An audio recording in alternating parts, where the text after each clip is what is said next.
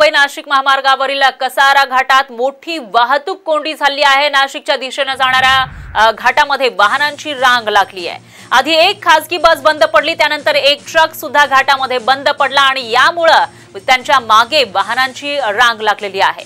महामार्ग पोलीस आणि आपत्ती व्यवस्थापनचे जवान ट्रॅफिक जाम सोडवण्याचा प्रयत्न करतायत. या दृश्य आपण बघू शकताय. सर्वच लेन या लेनमध्ये वाहतूक कोंडी झाल्याचं पाहायला मिळतं एक ट्रक बंद पडलेला आहे. एक बस सुद्धा या ठिकाणी बंद पडली आहे. अरुंद रस्ता आहे आणि त्याच्यातच ही दोन मोठी वाहनं बंद पडल्यानंतर मोठी वाहतूक कोंडी झाल्याचं पाहायला मिळतंय. आणि अवजड वाहनं सुद्धा या ठिकाणी अडकल्याचं दिसून येत आहे तर छोटी वाहनं सुद्धा इथं अडकल्याची ही दृश्य आपण बघू शकता लांबच लांब रांगा या ठिकाणी वाहनांच्या लागलेल्या आहेत. दरम्यान हा ट्रॅफिक जाम सोडवण्याचा प्रयत्न सध्या सुरू आहे.